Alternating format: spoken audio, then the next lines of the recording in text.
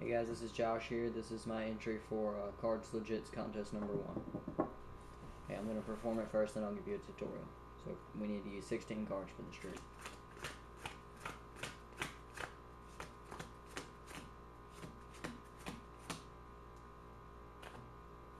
Put the rest of the deck aside. Okay, so what we do is we cut the deck in half, 16 cards on each side, turn one pile over. Now what I'm going to do is I'm going to uh, shuffle them together. That'll be good enough. Now I'm just going to spread them out.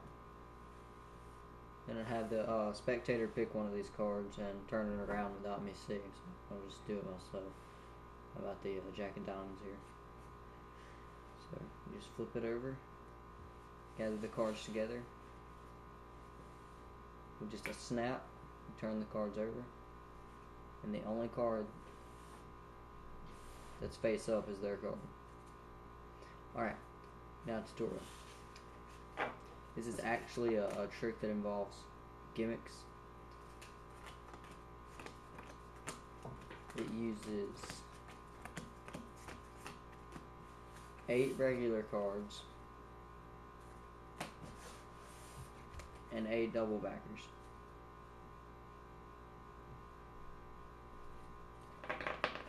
So the thing for this trick is you have to make sure that you turn over the pile with the, the, the real cards in it. And when you shuffle them together, you have to make sure they don't see the bottoms of the gimmicked cards. Because then, you know, say, hey, there's a double back or something's going on there. So, um, whenever you shuffle them together, la la la, turn them over. And whenever you turn it over, the only one that you'll see the face of is the one that they turned over.